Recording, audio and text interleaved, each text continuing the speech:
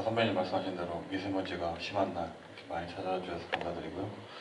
그 저희 영화는 굉장히 재밌고 유쾌한 영화입니다.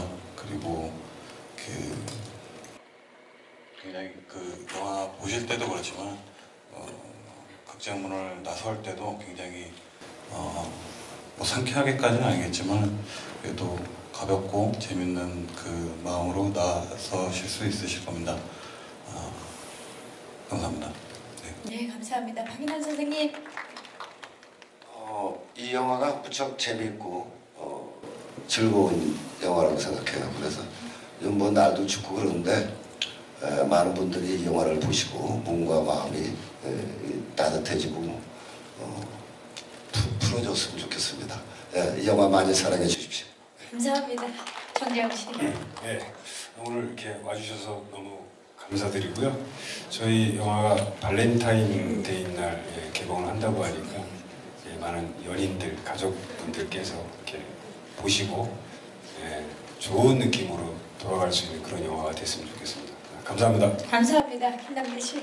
네, 저희 기묘한 가족 좀비의 소재를 갖고 있긴 하지만 정말로 가족 이야기이기 때문에 굉장히 어, 많은 연령대가 즐길 수 있는 영화라고 생각해요. 주변 많은 분들한테 좋은 얘기 많이 부탁드리고요. 저희 김혜원 가족 잘 부탁드리겠습니다. 고맙습니다. 감사합니다. 김주환 씨.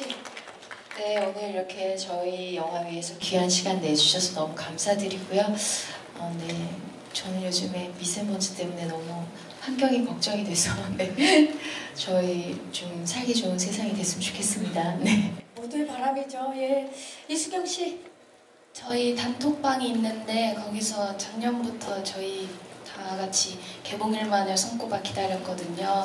그래서 저희가 기대했던 만큼 그리고 저희가 열심히 했던 만큼 많은 분들이 재밌게 즐겨주셨으면 좋겠습니다. 감사합니다. 감사합니다. 정가람 씨.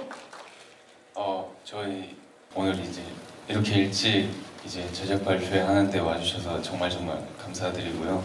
어, 저희 영화 정말 열심히 재밌게 찍었어요. 많은 사랑 부탁드립니다. 감사합니다. 네, 감사합니다.